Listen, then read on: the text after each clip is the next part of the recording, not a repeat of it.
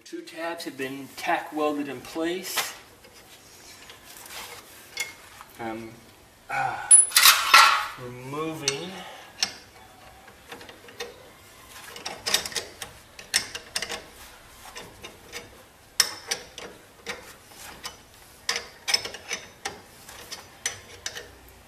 the two bolts holding the tabs.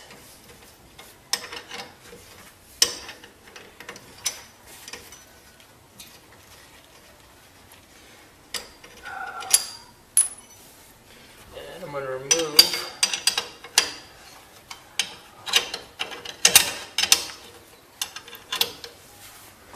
Make sure my head's not in the way.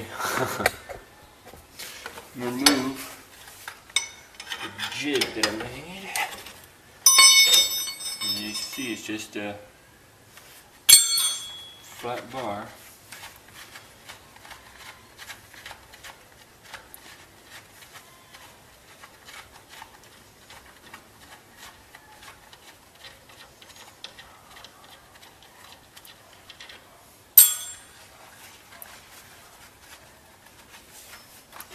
Take that off.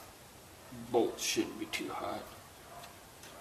As you see now, the two 944 caliper mounts that I cut from the 944 spindle are now tack welded in place on the VW spindle.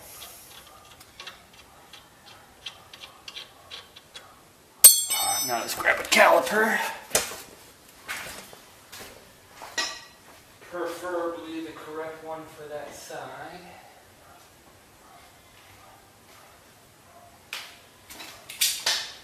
And we will set it into place.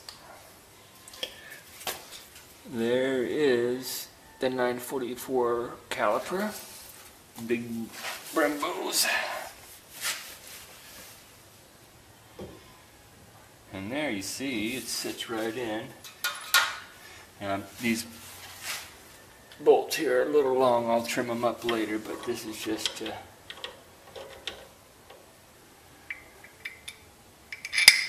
see how it looks.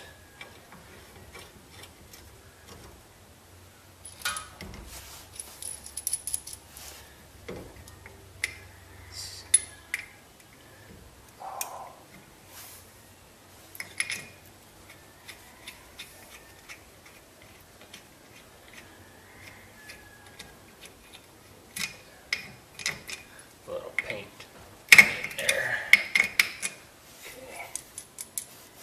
Okay. The hard part here is getting both of your tabs square. You know, you get your jig on there just right. Try to eyeball it up. Get everything square.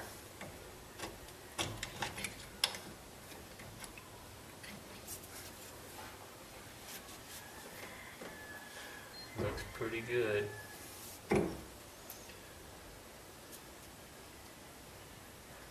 I guess the next thing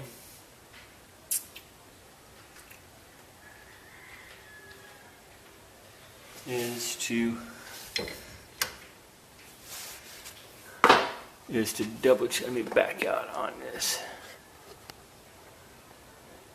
You see there it is 944 caliper or Brembo caliper mounted to the VW spindle now with the, the brackets I fabbed. Now what I'll do now is I'm going to pull this caliper back off. I'm going to go grab the hub assembly and the rotor assembly and put them on and make sure the caliper clears that then I'll put the wheel on to make sure the wheel has enough clearance for the caliper and then if everything's okay I'll come back in and I'll weld up the, the brackets completely grind my weld smooth paint it and I will be done with that uh, that spindle. Back in a second